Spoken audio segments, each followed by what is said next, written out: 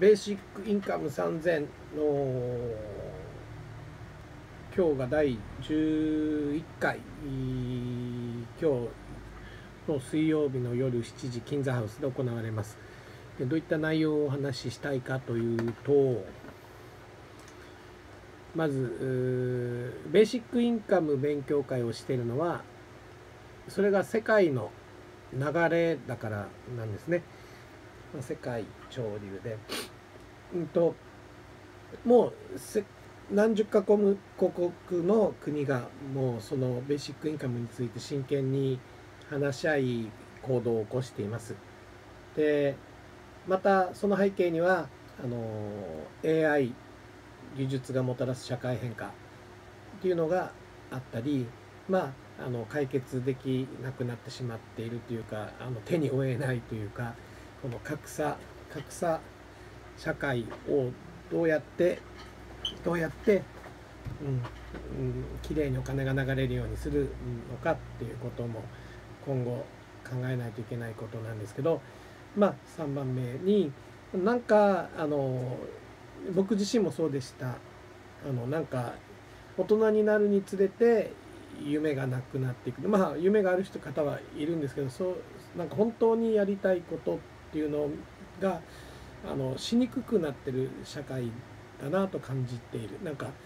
楽しみ周りも見た時に楽しんでる方は楽しんでますけれども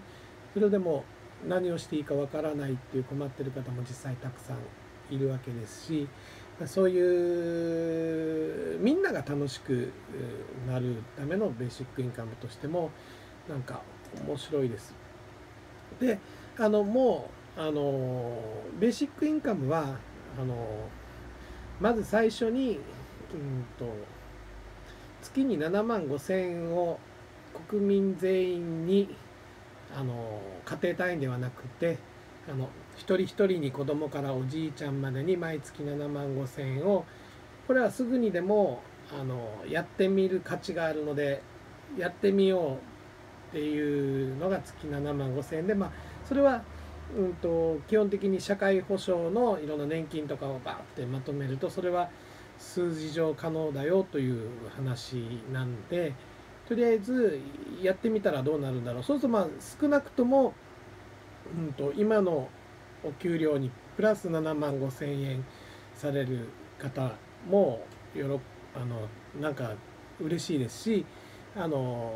7万5千保証されていればあの何かあった時の心配とかもうしなくて済むまあ7万5千円だけだとちょっとまだ少ないと思うんですけど、まあ、すぐするためにはあの7万5千円だったらすぐできるんだったらまず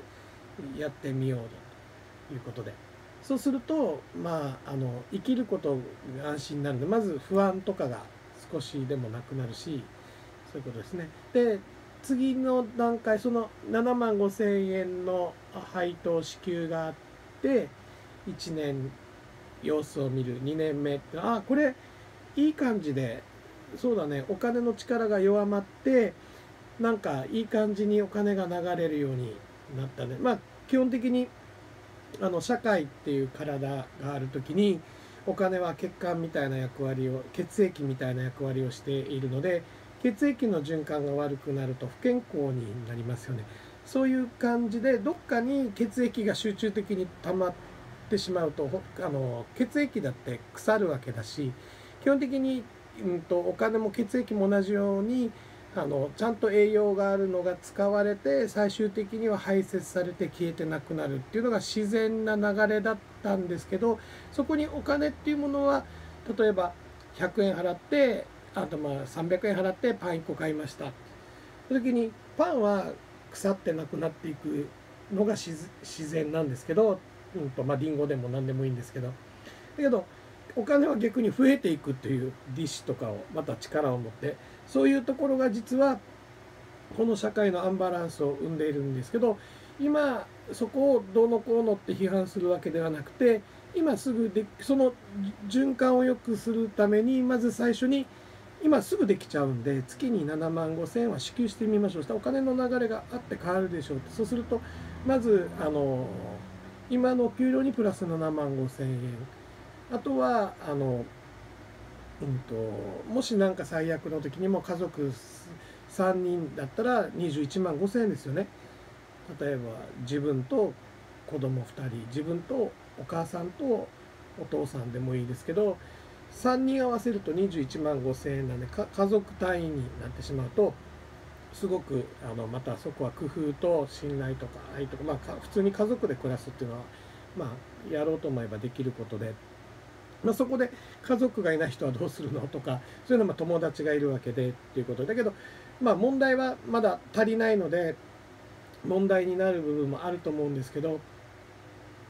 まずできるところからすぐやってしまうなんでかというと価値ある実験なんで。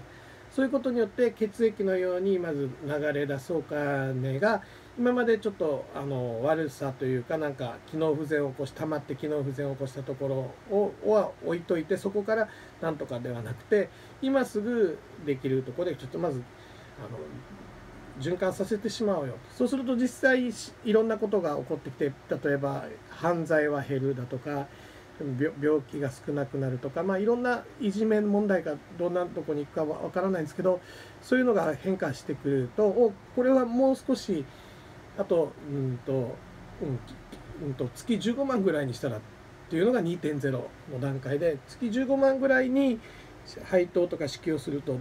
ここからはちょっと楽しい世界。楽しいっていうのは遊びほうけれっていうそういう意味でもいいんですけどあの人生を楽しむためにあるしいろいろ悩む時もありますけどまあそういうことで。だけどそこを15万円もらえると多分あのやりたくない仕事はやらない。やりたくない別に稼ぐための仕事はやってもいいんですけどあの自分の心からなんかそういうことは自分はこういう仕事は誇りに思ってないなとかこの誇りに仕事を持って生きていけないなっていうような仕事はやらしやる必要がないないのでで別の方がそれを誇りに持てるんであればその別の方がやればいいですけどまず正直に自分のあのやりたい仕事とかまた逆に15万円の支給があれば僕はもともとダイビングショップで働いてたので技術を技術を学ぶっていう時にあの給料がなかったんですよ。レッジ制度っていう古いまあそれがいいとか悪いとかで僕は今考えてしまえばデッチ制度って実はいいよなと思ってあの会社で、うんと、育てるっていう考え方もあるんですけどあの学びたいと思う時には大学に行ってお金払うし学校に教えてもらうってことに対してこちら側からお金払う場合もあるんでなんかダイビングショップの技術とかそういう海の知識だとかはそこに給料が発生するっていうよりも僕の僕が27年前ぐらいにダイビングを始めた時には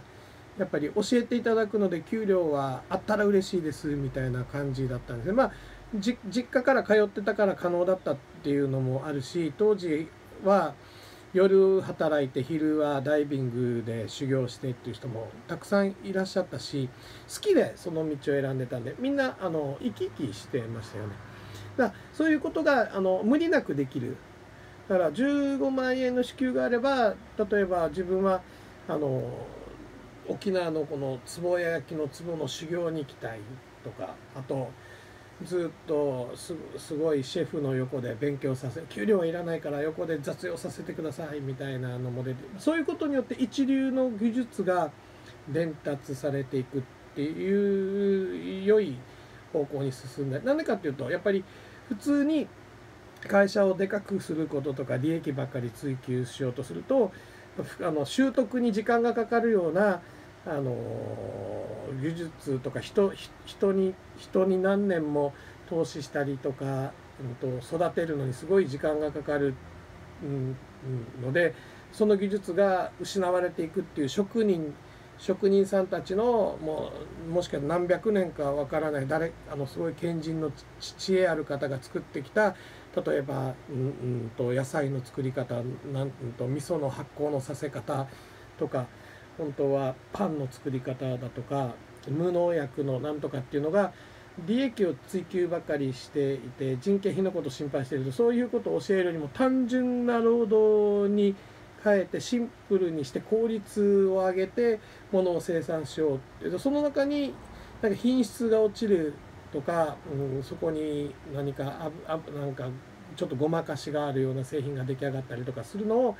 あのかそういうことをわざわざする必要がない。なんでなんでかっていうと誇り高い仕事をしてるっていうのところの企業はあのそこにはあの15万ベーシックインカムもらってたら月5万で十分です。月5万円でもそこでこの技術を学んでもっとあの世の中に広めたいというような志ある人がどんどんあの仕事に対する考え方だとかを変えていくでどんどん楽しくなっていくっていうのがベーシックインカム2.0でそういうことをすることによって要はみんなが得することが始まりますよね。ベーシックインカムを考える時にあの自分がもらえるだけじゃなくて身近な人がもらえた時にどういう変化がするだろうって想像していただいても面白いし社会みんながあのこういうふうなペイフォワード的な地球からとかその地域の恵みとしてのあのエネルギーとしての潤滑させるためのエネルギーとしての、うん、と月15万円っていうベーシックインカムが配当されるとあのその流れにみんなが乗れますよね。そのそうすることによってあのブラック企業みたいなところもブラックだブラックだっていちいち言う必要もなくそういうところには人が集まらないのでブラック企業のこういう時間何時間働いてるのが良くないとかこういうルールも実は必要なくてなんでかって好きで仕事してる場合ってその人があの仕事技術要は毎日バット振りたい人が「あ時間外労働です」ってやらないですよね。自分が練習したいんだから練習するわけで、えな8時5時で時間でいくらっていう仕事ではない場合はやりたくない時はやりたくない。気分が乗らない時は考え込む時間も必要だし集中している時はもう寝ないでやってもらってもいいしそういうふうなのが15万ぐらいから起こるしそうすると品質が上が質が上がりますよね。商品とサービスの質が上がっていくわけだからその質に対していやそういう、うんとうんと、発酵イースト菌とか防腐剤とかもこだわりって農薬を使ってない小麦で焼くパンが1個例えば400円だとしてもそれをいいものを作ってくれてありがとうちゃんとそういうものが欲しかったのよって言って1個400円のパン500円のパンでも買う人が出てきてそういうねパン作る側としても毎月15万もらってるからそこに利益追求利益追求というより理想のサービス理想の商品っていうのを作っていくって仕事に対する意味が要はお金のために働くというよりは本当に自分の好きなことでお役に立てるところでその、うんとうん、プラスアルファの所得をを稼ぐっていうのからすると15万ぐらいから楽しくなるだろうなと。そういった時にあのじゃあ必ず出てくるのが財源の財源がどう月10 7万5千円は分かるけど15まあまずその時点で7万5千円の時点であの経済が活性化してるというか無駄が消失してあのいろんな問題が減ってある意味いい意味であの、うんと、余裕が出てきてみんなが未来に対してお金を、うんと、人に対して、うんと、お金をっていうのがあ全然これでよかったんだっていうのが分かってくれば月15万はその時点では別に問題にはならないと思うんですけれども今の時点でじゃあ財源は財源がないのにこんなことできないでしょう。財源は財源はって言われた時に財源は実はあの十分にあって沖縄なんか財源だらけですよ。あのまず財源は海ですよね。海。沖縄の海ですよ。すごい観光資源だし周り海ですよね。そこに実は海底資源もあるし地下資源もあるし。で日本なんかも同じだし日本も周り海が資源ですよ。日本は海が資源。自然も四季もあるし季節もあるし。沖縄は夏とかいろんなのはまた島国で。まあだから沖縄でテストするっていうことはベーシックインカムのテストをするっていうことは日本でテストするっていうを小さくしたものとしても同じように捉えられるし多分うんと世界で半分ぐらいの海域を持ってるのが日本だったか3割持ってるかそういう話が、まあ、あるしそれを水深 100m200m 以上にするといきなり日本ってなんか世界の7割とか8割とか9割とかのすごい、うん、うんと海をの資源をあのだから要はそれがベーシックインカム3.0とかでなった時にはもう海底遺跡探索から海海海底に何がある深海2000とか深海3000みたいなそういう潜水艦がまた一つの宇宙探索みたいにね沖縄とか日本とか潜水艦多分相当技術もあるわけだしでそこ下に何があるのかまだ見えない真っ暗な世界の中にどんだけのものがいるのかっていう海底資源もこんなに海に囲まれてる沖縄。まあそれもそうですし普通に海に沈む太陽が綺麗である。空気が綺麗でその光が綺麗でそういうのが資源ですよね。まあそこの太陽を受け取れる、うんと、果実だったりいろんなもの。そこで育つ豚だったりそういうのにこだわっていったりすることだしまた歴史もあるし人もいるし。沖縄の人も歴史も財源財源なんでだから月15万ぐらい観光立県を目指すっていうものだったりそういうあの沖縄の人に会いたいな沖縄に行きたいな沖縄に住みたいな沖縄は理想だなっていうまあそういうリーダーシップみたいなね心が資源。なんでそういうのが世界から注目を国際社会から注目を浴びるという意味でも、うん、このベーシックインカムは有効な手であると思います。で月30万ぐらいになるともう4人家族だと120万というなんかとんでもない世界に入ってくるんですけどもそこでは多分みんなが同じようにそんだけのあのベーシックインカムがあるのでなんかお金であの見栄を張るというか変な変な満足を得るためのお金の使い方する人はいてもいいんですけどそれはその人のかあの楽しみなんでそれがいいとか悪いとかそういうことではなくてそういうことにもっと楽しいことが例えばロケット飛ばそうよとかロケット飛ばそうよって時にあううちの子供が宇宙飛行士になりたいって言ってるわみたいなお母さんがいるとしたらどっかであの沖縄の屋那覇島に宇宙ロケット基地を作ってそこからうん、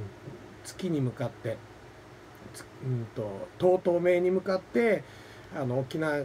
からロケットを飛ばしてなんかいろんなことをしたいなっていう会社を立ち上げてる人がいた起業をしてるとこに夢に向かって投資をしますとか。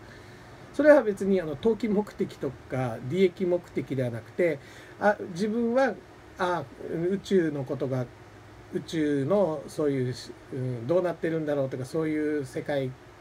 が好きなんでそういうことを頑張ってる。自分にはちょっとできないんでそういう企業を応援したいとかそういうところにベーシックインカムを投資していったり発明そうするとあのそこの社員の人たちも多分月30万円もらってるのでそこで稼ごうとかじゃなくて研究とかね、うんと、そういうことを楽しんで創造的に創造的に生きていくっていう人が、うん、3.0でそうなってくると今、うんと、ここ何百年の、うんと、何百年かわからないですけどあのお金に支配されてたというか実はお金を動機にしていた経済活動が仕方なく作ってしまったあの既得権益とか例えばフリーエネルギーとかが発明されても世に出せないジレンマがあったりとか本当は薬を飲まずにこういうことで簡単にあのタダで治るほとんどタダでお金かからないようなもので治療ができるっていう発明があの表に出ないような現象っていうのはなくなるしあとはそうですねあのいろんな人に与えることが楽しいとか夢を見ることが冒険することが生きがいだ理想は追い続けられる自分のやりたいことを自分に真面目に自分に向き合って真剣に生きていけるっていうのが3.0でっていう中で。でまあベーシックインカムっていうのはそういうのこであのやっぱり地球自体というかこの社会自体が富を作ったんであればそれは誰かが作ったっていうそれそれはあの会社の経営者だったり発明をした人っていうのもいてその人のおかげっていうのはあるんですけど周りの人たちがやっぱり支えてて一人では成し遂げられないそういう富なんで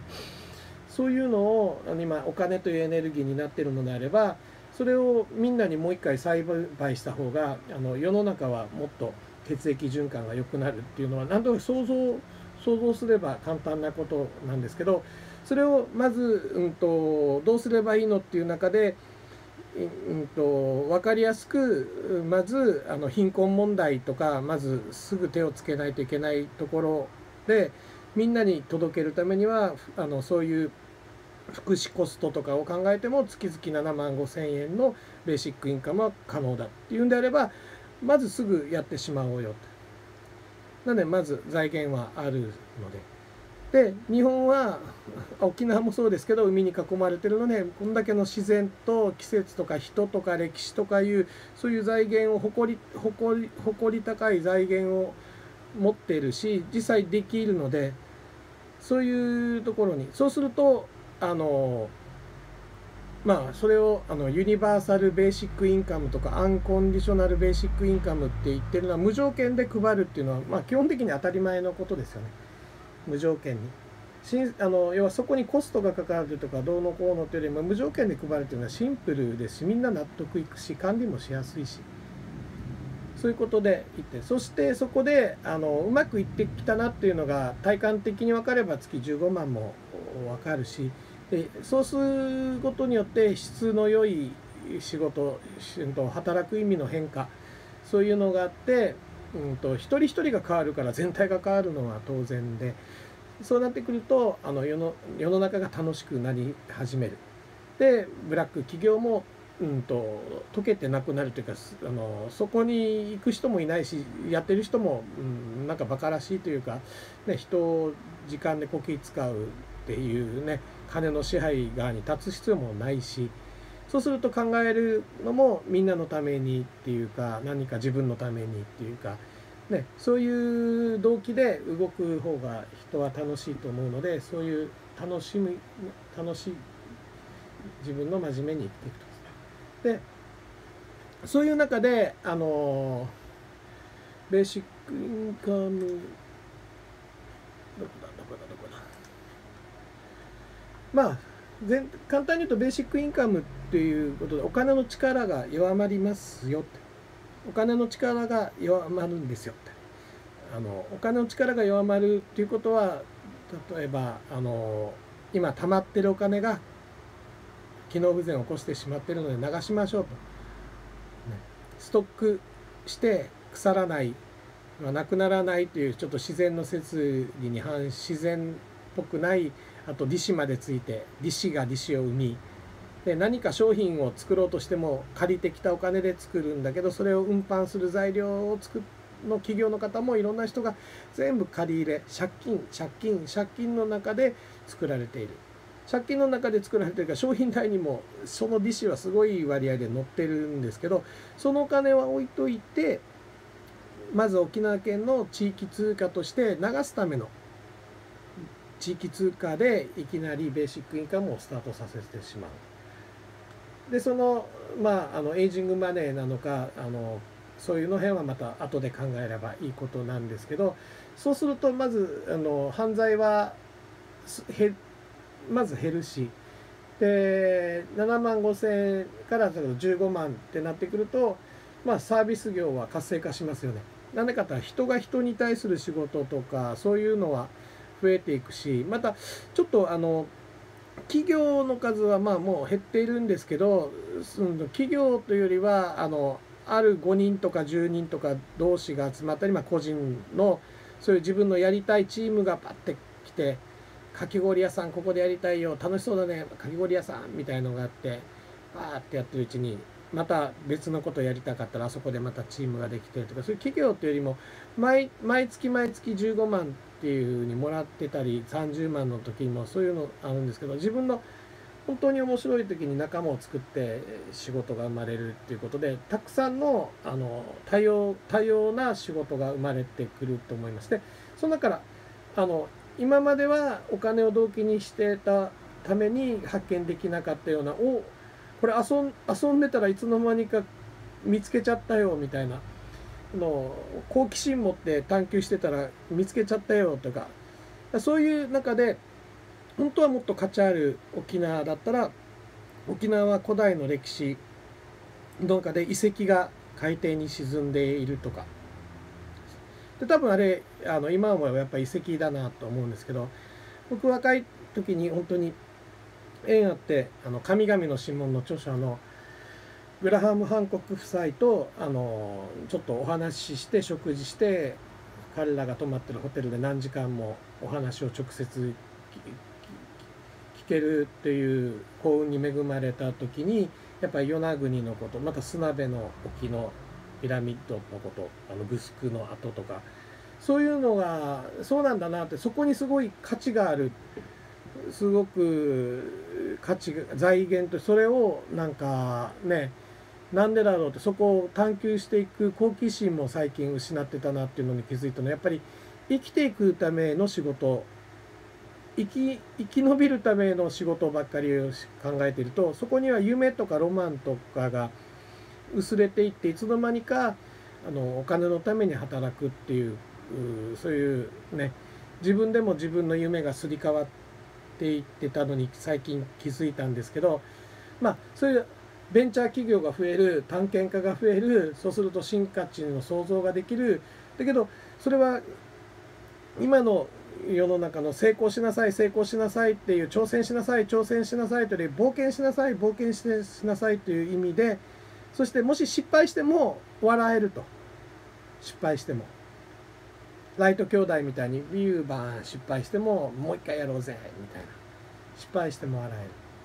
でそういう周りもお冒険したんだね。よく挑戦したんだね。失敗したけどまた次ねって。みんながで失敗が10個のうちみんなのみんなの失敗が10人の失敗が1年間に10回ずつあって100回の失敗のうちに1個か2個素晴らしいものが生まれて今度はそれをみんなでまた共有してっていうふうに社会はこうやって発展アイディアが生まれて発展していくような。でそういうところからこれあのお金で動機に働いてないので要はこういうの見つけてよみんなにどうだどうだって伝えるっていうことが楽しくなってきてまあ結局は損得とか自分のメリットデメリットっていうよりもなんかみんなを喜ばせたいとか自分をびっくりさせたいっていうようなそういうな仕事とか増えていったら社会がどんな風に変化するかって楽しみですよね。でそういう中であのベーシックインカム3000という沖縄のこの話し合いのあの考える会の中で BI 問答というものが生まれました。でベーシックインカム1.0に、うんと、当たる、うんと、ベーシックインカム1.0っていうのはこういう感じの、うんと、問い問いかけで考えるきっかけを作ることができますよっていうのがあの働かざる者を食うべからず働かざる者を食うべからず働くという意味が労働とかなんかね時給800円とか1000円とか給料っていう働くとは違った働くっていうのが人それぞれ意味がありますからあの基本的に地球に生まれてきたみんなは生きてるだけでもう十分働いてるわけで地球自体はそのエネルギーを持ってるし財源は先ほども申したように沖縄他の国もいろんな財源があるように沖縄にも海っていう財源が。あるだからそういうところで財源はあるしエネルギーもいっぱいあるし恵みもあって今テクノロジーもあって AI というまた恩恵も受けてオートメーション化してもっともっと質の高い仕事っていうのを求める時はお金になるものが仕事っていう意味ではないので自分の子育てに子育てに集中するっていうのも仕事ですしら先ほど言った3人家族で子供が2人で例えばシングルマザーのお母様がいたお母さんがいたとして21万5,000円もらってれば私は子供とずっと一緒にいて遊んでいたいのっていうのを仕事にすると愛のある子供が世の中にたくさん出てくるわけででそうやって育てられた子供はまた何何次ねするんですよね。ね楽しみですよね。そうすると,、うんと、2番目の問いがベーシックインカム2.0の問いが貯蓄は未来のために必要である貯蓄は未来のために必要かっていう問いでこのは月15万もらってるとまあ老後のこととか子どもの大学行く費用とか毎月15万もらってたらそういうことをある程度は貯めてもいいと思うんですよ。何かあった時の、まあ、ためのまあ1年分1年分の300万ぐらいあればとか200万ぐらいあればとかまあ多くても500万ぐらいあればまあ、何か買いたいものがあって車が好きだからってそういう貯めるは旅行行くためにお金を貯めるとかいうそういうそういう貯金の意味ではなくて心配心配貯蓄するっていうのは心配するための貯蓄未来の心配のための貯蓄のでのため未来のためにはだからもうその不安のための貯蓄は必要ないのであの月15万もらってくると貯蓄したり、うん、とお金を貯めたりする必要まあ何か目的があれば別ですけどそうするとあのまたお金がストックしないストックしないそういうのお金がストックしないのでお金のここでもお金の力も弱まるし流れも良くなる。でベーシックインカム3.0っていうのはちょっとあの世界観としてはここが最終目標なんですけど最終目標っていうかまあ 3, 3ステージ目みたいな感じなんですけど月々30万もらってるような世界。そういう中では仕事の動機はもう完全社会の質も多分、うん、まあ理想を追求する夢を追う空飛ぶスケボーを作る集団がいるような海底遺跡探索であとはもう本当にねそういう時にはもう月30万もあるんだったら既得権益にぶら下がりながら苦しんでる人たちも自然に手を離すわけなんでそしたらそういう構造上生まれてしまった悪っていうものを誰が悪いこっちが悪いんだって対立対立してたのがあの自分の、うんと、考えを持って、うんうんとね、勇気を持つっていうか、自然な形であの既得権益っていうのは溶けていったり構造悪もでさっき言ったように必要のない自己目的化した企業はなくなっていいしそういう組織も必要ないし新しい組織。そういう組織の中で、うんと、割り勘は公平であるかっていうのを考えるという問いは結構あのここをつなげていくのはまた面白い頭の中の作業なんですけど割り勘は公平であるっていうのはうんと月々30万円もらってるベーシックインカムの時にはもうその問答すら必要ないですよね。なんでかっていうと今割り割り勘が公平かっていうと実は公平ではなくて例えばあのシンデレラの物語をちょっと考えていただきたいんですけどシンデレラって灰かぶりのあの偶話あの王子様が花嫁うんと、お姫様を候補を探してますと。いついつ武道会があります。お城で武道会がありますよって言った時にあのシンデレラはあのそのドレスもないわけですよね。あとドレスがないから舞踏会に行けないわけですよ。すごく心優しくて気立てもよくて可愛くてねそういう王子様にふさわしいまあそこはまあそれぞれの王子様はいるかもしれない。まあそういうチャンスがドレスがないドレスがないだけでチャンスがないっていうのがこれが公平ですか？らドレスはみんな自分で買う買いましょう。それぞれドレスは払うべきですよっていう。機会を与えられてないですよねドレスがない。だからある場所に参加するっていう時に10万円持ってる100万円持ってるって人は参加できるのでそこは割り勘でもいいかもしれないんですけど一般的なね、うんと、食事の場でもいろんなチャンスその、うんと、飲み会にしてもパーティーにしても食事会にしてもそこでは、うんと、割り勘っていうのが実は公平ではなくてそのお金1回5000円1万円の企業企業異業種交流会にしてもそれが払える人にチャンスがある。でもっとお金持ってる人はいろんな意味でやっぱりうんと、不平等にチャンスを得ている。やっぱりお金の力があってお金があれば大学に行きやすいとかそういう。でそういうことで言うとあの3.0の世界っていうのは割り勘は公平であるって公平じゃないから月々30万ぐらい支払えても本当に心も体も自由になった状態でみんなが挑戦冒険していって人のために役立ちたいっていう気持ちを動機に持って生きていけるっていう世界はいろんなあの世の中にある問題も、うん、きれいにみんなの愛で溶かしていくみたいなそういうイメージが3.0なんですね。だからベーシックインカムを、うん、これをあの内深い内容を考えれば考えるほど想像すれば想像するほどもう断る理由反対する理由がなくなっていて隣の人に話したいみんなで早く実現したい。で沖縄でまずテストアイランドでやりたい。もともとユイマールという沖縄は分け与えるっていうそして古い沖縄とちょっと都会化した都会に染まってきてしまった沖縄がちょうどいいバランスでサイズ的にも、うんと、月100万あうん百何十万人で日本の100分の1でで海に囲まれた沖縄でまた沖縄海底資源があるしであと人も歴史も資源だし景色も夕日も資源だしそうするといろんな多様化したね観光観光のためのサービス業の教育のための芸能のためのいろんな、うんと、仕事が生まれてきてそこは国際があの世界が注目して勉強しに来て遊びに来て移住しに来てというで今までの経済の中でよあの生き残るために勝ち負けみたいな、うんと、賛成反対みたいなこうだああだっていう中の二元論の中で今世の中動いてるというか考えてる中沖縄というのはあの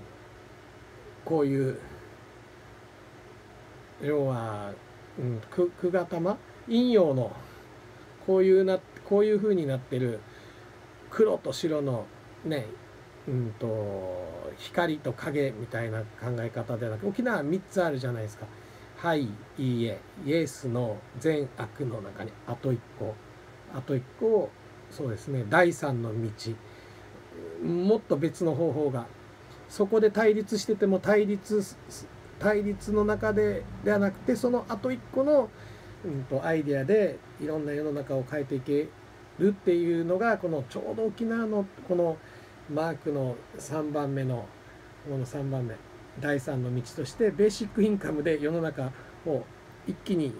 変化ひっくり返してみませんかって自分自身もなんですけどというベーシックインカムをの話ちょっと長くなりましたけどありがとうございます。